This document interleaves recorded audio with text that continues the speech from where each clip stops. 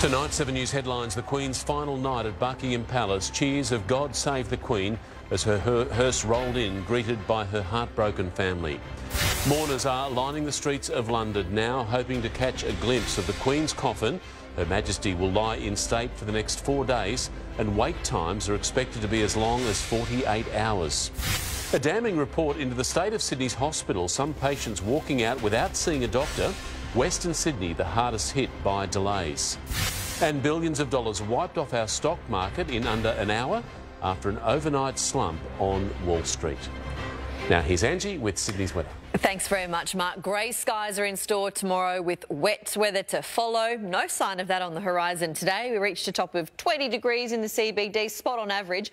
Winds were northeasterly, mostly light, so it was comfortable. Manly reached 20 degrees as well. 23 for Penrith, Katoomba 13. Now, the latest satellite image shows some cloud cover just starting to edge into western New South Wales now. That is linked to an approaching cold front and trough, which will deliver rain to inland regions tonight. There's a flood watch for tomorrow covering the central west and northwest slopes and plains in particular.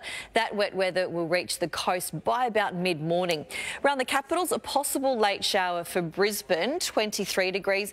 That change will mostly be felt through the southeast, though. Showers for Canberra, rain easing in Melbourne, shower or two for Hobart, Adelaide and Perth. No change for Darwin, sunny and 34 degrees statewide. So with that change reaching inland regions tonight, the wet weather will clear the far west during the day and reach the northeast corner late in the day. Moderate falls about the ranges, western slopes and plains. Thunderstorms in the west will be possibly severe. Daytime temperatures mostly below average under those grey skies. A cloudy day for the metro region too. Rain most likely from late morning, tops to reach the high teens for the most part. Katoomba will cool down more substantially with a top of 11 forecast. On the water, winds will tend north to northeasterly up to 30 knots offshore. Given that, strong wind warnings are in place, not just for Sydney waters, they span the length of the coastline. Back in the CBD, a low of 11 degrees tonight. The top's going to be 19. It'll be overcast with rain, most likely from about late morning. We're not going to see more than 10 to 20 millimetres though.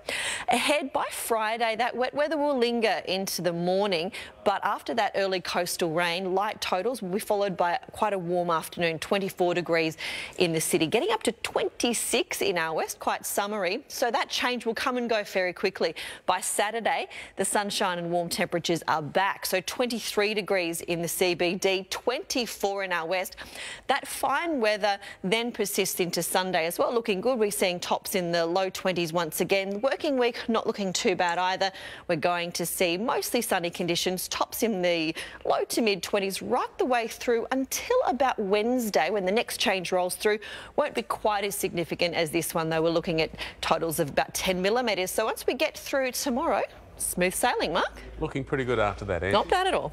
Thank you. That is 7 News for this Wednesday. We'll have updates for you throughout the evening. I'm Mark Ferguson from all the team. I hope you have a great night.